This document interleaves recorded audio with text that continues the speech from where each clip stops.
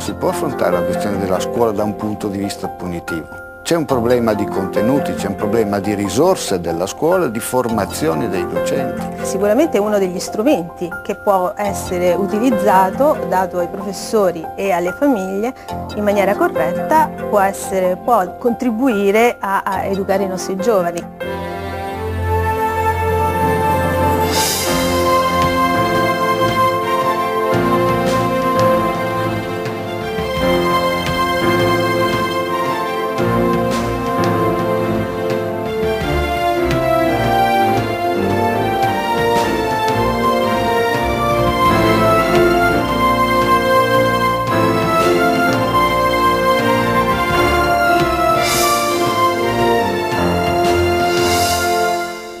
Buonasera, ma allora questo benedetto 5 in condotta è un'opportunità di cui i professori abbisognavano o è uno strumento di intralcio nei rapporti umani? Per anni la parola punizione, che peraltro vige in qualunque ambiente educativo, basti pensare al rapporto genitori-figli e non parliamo di punizioni corporali, ben inteso, per anni questa parola punizione è stata demonizzata. È anche vero che la scuola, ci domandiamo, può ritrovare la dignità che molti considerano perduta grazie all'imposizione di una severità? Ne parliamo quest'oggi, sono qui con noi Patrizia Boretti, Buonasera signora, Buonasera. che è un'insegnante innanzitutto di latino e greco, distaccata come consulente del MIUR, Ministero Istruzione, eh, Università e Ricerca, dove lavora la direzione generale dello studente e davanti a lei Beniamino Lami, segretario nazionale, buonasera, buonasera. della Federazione Lavoratori della Conoscenza della CGL. Eh, si occupa soprattutto di politica per l'inserimento degli studenti stranieri nella scuola, dovrei chiedere qualcosa delle classi ponte, facciamolo già che ci siamo, così proprio prima di cominciare scaldarci? Subito? Sulle classi Ma proprio ponte? una battuta a, fre- a caldo, senza A parte pensare. che ancora non è un provvedimento, eh. ma diciamo il documento approvato in sede parlamentare non è una cosa no? che noi con- non condividiamo. No, lo riteniamo molto negativo. Nemmeno se mh, periodizzato in maniera chiara come Nemmeno passaggio? se è periodizzato, non si affronta così il problema dell'inserimento e dell'insegnamento della lingua italiana agli alunni immigrati. Lei che ne pensa invece signore?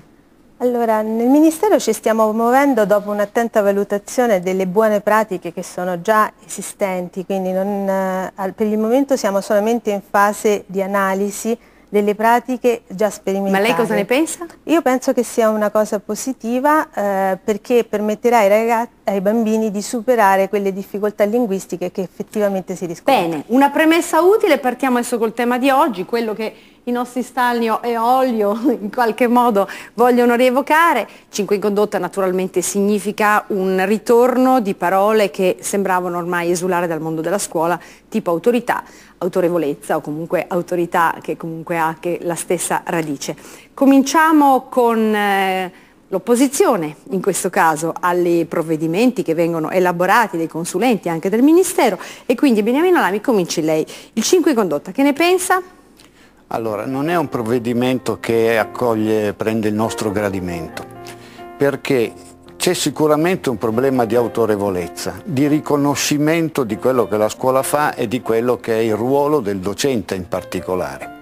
Poi nella scuola non ci sono solo i docenti, ma il docente è la figura centrale.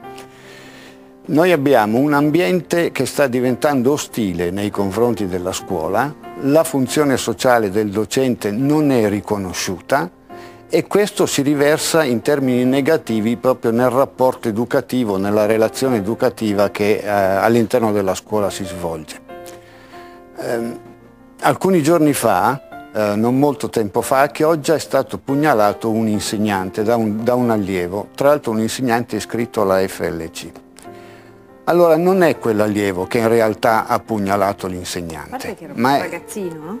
Sì, un ragazzino, insomma. Ma in realtà è la società nel suo complesso che è il mandante rispetto a questo atteggiamento qui. Il ragazzo ha detto lo dovevo fare. E perché lo doveva fare? Qual è il senso, il valore per cui quel ragazzo doveva fare quel gesto nei confronti dell'insegnante? Perché probabilmente l'insegnante aveva avuto il difetto di dire di correggerlo in qualche suo comportamento, quindi di fare l'educatore nei confronti del ragazzo.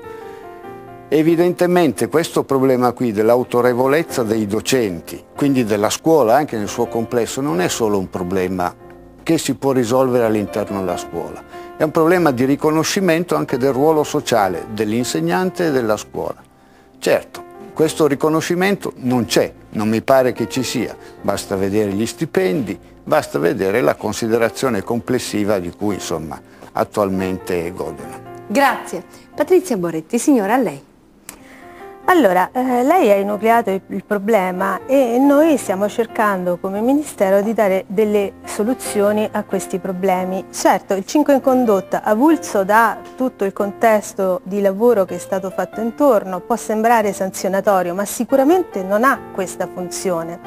Si parte dal presupposto della scuola come comunità eh, di educazione, come trasmissione non solo di conoscenze, ma anche di buoni comportamenti, e, e anche eh, di senso di cittadinanza e di appartenenza.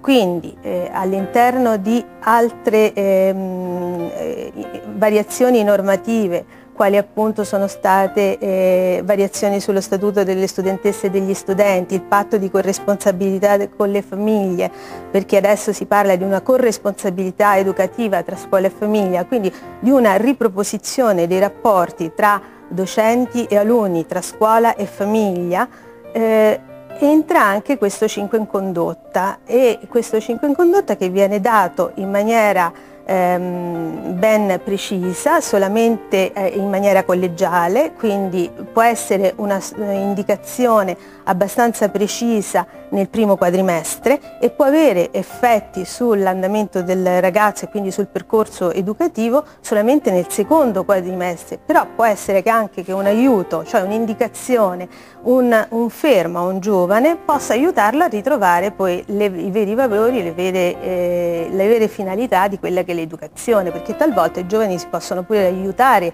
nel loro percorso di, di crescita e, e talvolta hanno bisogno anche di un adulto che gli dica oltre questo comportamento non puoi andare. Quindi, vista all'interno di un percorso ben preciso che parte dal statuto delle studentesse e gli studenti al patto di corresponsabilità delle famiglie, è valido anche questo procedimento del 5 in condotta. Possiamo dare voce adesso ad alcune domande degli studenti che abbiamo guardato qua e là sui siti online, ci sono fiumi, fiumi di domande di reazioni e perché no, dei genitori. Domande.